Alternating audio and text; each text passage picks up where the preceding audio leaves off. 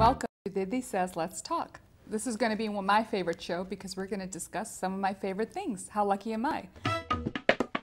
Welcome back to Didi Says Let's Talk. We're talking with Anu now, and we're going to enjoy a beautiful plate of chaat. And she's going to talk to me about how I could possibly enjoy chaat with wine. Absolutely. Anu. And there is a way. And a Viognier is just, it smells like perfume. Can it smell so, it? yeah, absolutely. It's going to be hard to stop smelling it. Oh my God, So it's really fragrant. nice. Yeah. doesn't I know. I think you're with your onto food. something here. Thank you. I love this pairing. So, Anu, thank you. This is really a pleasure.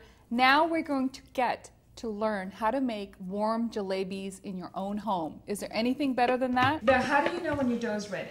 it'll form a ribbon.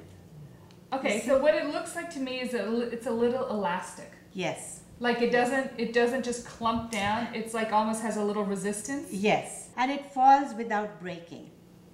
Oh, that's that's cool. Thanks.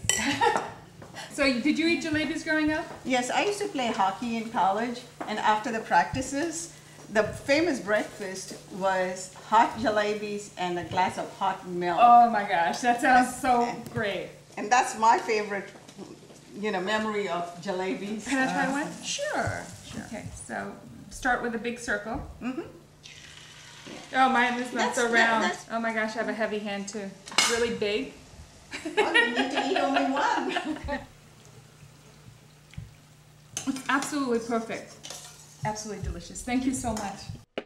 My favorite part of that interview and talking to the women was talking about the food from childhood.